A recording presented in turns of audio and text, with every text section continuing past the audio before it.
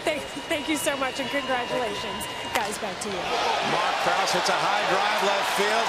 Makes a bid to give the Astros the lead. That's a two-run homer near where Jason Castro hit his. And Krauss makes it 4-2 Houston. First home run of the season for Marc Krauss.